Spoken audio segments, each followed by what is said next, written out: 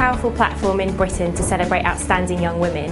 The finalists here today are going to shape the country's future in times of a bit of economic downturn when people are thinking about their budgets. We get a sellout this evening. Yes, and I think everyone is looking as to who's really going to excel, who's going to make a difference, and really make uh, the world a better place for everyone. We've brought a whole team from Asda this evening, all under 35, all who are real stars for the future to see just what can be achieved. Having been a finalist myself, I can absolutely vouch for, for the, the confidence boost it gives you. There's some wonderful stories, and I mean, one of the most difficult things in all these cases cases is, is picking winners. And to highlight those stories is not only um, a great encouragement for the young women themselves, but actually is a huge encouragement for the other young women who are thinking and struggling and wondering what they can do with their lives. Society is changing, the world is changing, and we need to bring uh, this diversity together and, and make that world more equal. Quite a few of the candidates have said to me that just being nominated has really helped them with either their business or their self confidence or something, and there's such a lovely atmosphere. I think it's a rather unique initiative that I haven't seen in other countries, and I haven't seen anyone like Pinky. Uh, motivate women in such a phenomenal way. It's a phenomenal credit to Pinky. Pinky is irresistible and implacable and really determined, and all credit to her. More power to Pinky. You sit amongst the most incredible women who've done the most incredible things. It just gives a boost to people who are already doing well and encourages them to do even better. I think this is a real celebration. It is my huge pleasure to welcome you tonight to these fourth Women of the Future Awards held in association with Shell. You will hear through this evening about their achievements, and some will receive special recognition. But really, they're all winners. So please welcome onto stage all of the shortlisted candidates for the 2009 Women of the Future Awards.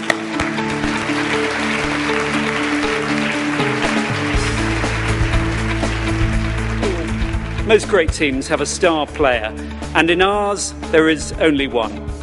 We're so proud to work with her and to have created these awards with her. So please welcome onto stage the chairman of the Women of the Future Awards, Pinky Lalani. Pinky. Tonight is first and foremost about celebrating an amazing group of women. You bring a fresh and distinctive style to your career paths, and it is a privilege to get to know you and hear your stories. Please welcome the leader of the Conservative Party, David Cameron. At the core at the very core of what we believe is this that everyone should have the chance to rise as high as their talent allows. That is what you are all about. That is what tonight is all about. Thank you for letting me share this time with you. And above all, congratulations to all those who have achieved so much.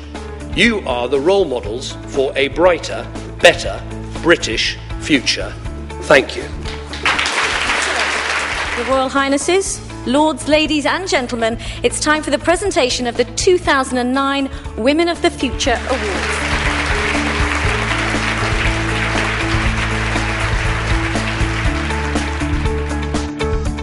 It's amazing to win this award. It was amazing to get it from Cherie Blair. That was actually quite a shock.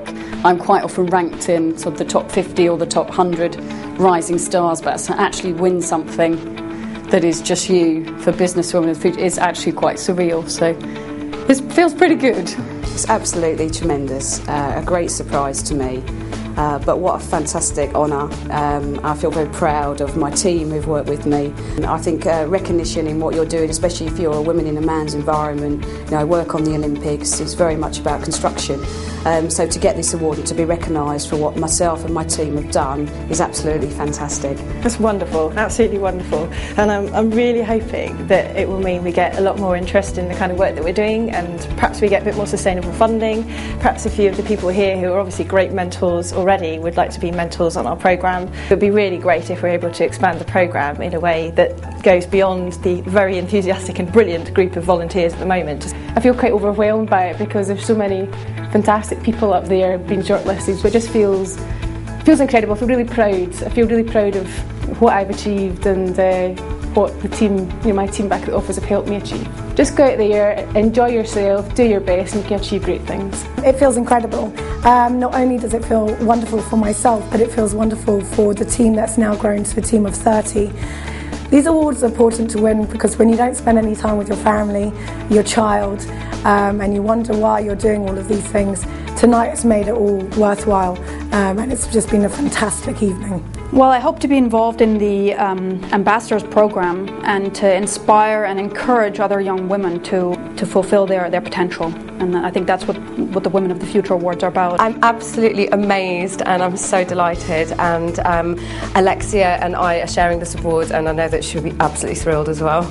It's, it's like a recognition, but it's also a real boost to our confidence in working with people. There's so many amazing women in that category, and it really is just amazing to be recognised. I think this is really going to affect my future. It's, it's given me a platform as well to be a role model to other young women across all different sectors, and I think it's something that I'm really proud of.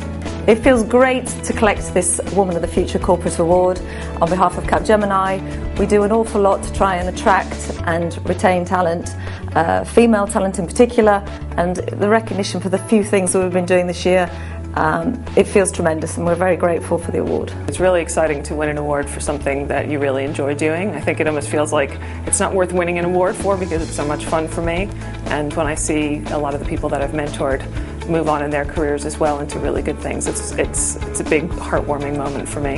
The calibre of women in this room this evening was amazing, just exceptional, and so which makes it even more of an honour for me to receive this award amongst such incredible, uh, an, an incredible room full of amazing women.